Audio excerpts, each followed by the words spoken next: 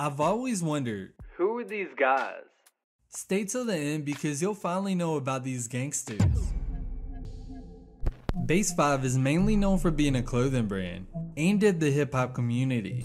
However, they will find their way into suburban homes, becoming one of the biggest brands within the skateboard community. And get this, they did this by selling vintage clothing. By the way, here's an example of some of their attire, which you can go pick up at the local Sub Urban store for around 105 bucks. By the way, this video is sponsored by Sub Urban. The store for the poor. If you walk into your local Sub Urban store, you will spot 3 to 4 cutouts featuring 5 members of the brand. The brand slogan will read, Wear it in. and Wear them before they wear you.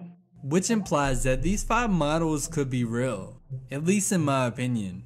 You see, in mid 1992, the brand would aim heavily at the urban community. This would be the effect of gangster rap, funkadelic, and overall street culture that would plague the streets of Los Santos, making it pretty much impossible not to bump into a gangster. So, what did the brand do? They teamed up with Los Santos' most popular gangster rapper, having him dress up in two bandanas while facing the camera wearing a chain with an Uzi on it. So, seeing that the brand hired rappers to model, I think it's safe to assume that Base 5 could have and was more than just a clothing brand. Around 1992 and maybe even before. I believe that Base 5 could have been an entertainment group made up of five members. And yeah, I'm including the dog. The first member being Nino. He can be seen wearing streetwear and a big cross. The second man being a large Mexican, black, or even a mixed race, possibly being just the muscle, there just to intimidate. The third man is a disabled man in a wheelchair, wearing a bandana and holding an AK 47, possibly the craziest of the group. And the fourth member being the main attraction.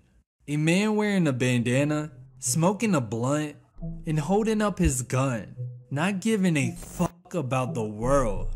This man being Tupac himself. And although it's never said in the flyer, we all know the legendary look. And Julio G of Radio Los Santos can be heard talking and spinning multiple records around the rapper. So this makes sense. But I know you're probably asking, what is his gang affiliation? Ballas or families? Well, to answer that, we have to go back to Grove Street. Lance Wilson, aka Ryder, will have a poster featuring the Base 5 member. And although Ryder betrayed his fellow gang members, it's obvious that he hated his rivals, going as far as beating up a teacher for wearing the color purple. So I think it's safe to assume that the member of Base 5 was wearing a green bandana despite the yellowish overlay. The rapper possibly belonged to GSF and grew up or stayed somewhere in the Ganton area. I also believe that the disabled thug could have been a member of the families as well, since gangbanging was at its peak during the 90s, and these men are seen in streetwear, bandanas, and guns. So if you wasn't gangbanging, then you was either hanging or slanging.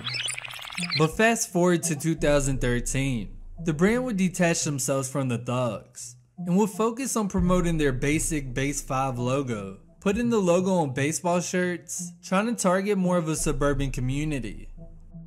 But let me know what you thought about Base 5. Who are they and where are they?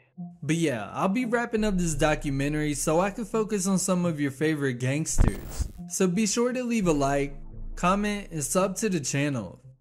This is your boy, LS Central. Check in.